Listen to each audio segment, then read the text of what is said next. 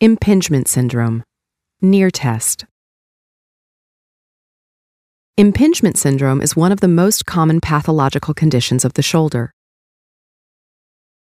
It is caused by a narrowed subacromial or, in rare cases, subcoracoid space, which leads to impingement of tendons or connective tissue.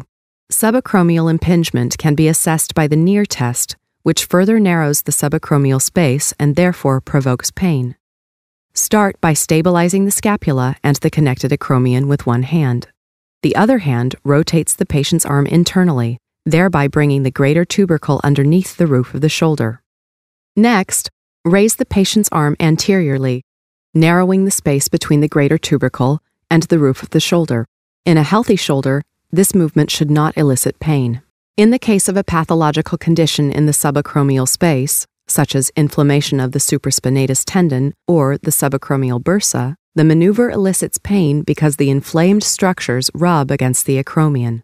Aside from subacromial impingement, problems in the acromioclavicular or AC joint can also cause tenderness on flexion. To differentiate between subacromial and acromioclavicular origin, simply repeat the movement with the arm in external rotation, which opens up the subacromial space and should thus decrease pain if subacromial impingement is present. In contrast, pain due to AC joint pathology would be unaffected.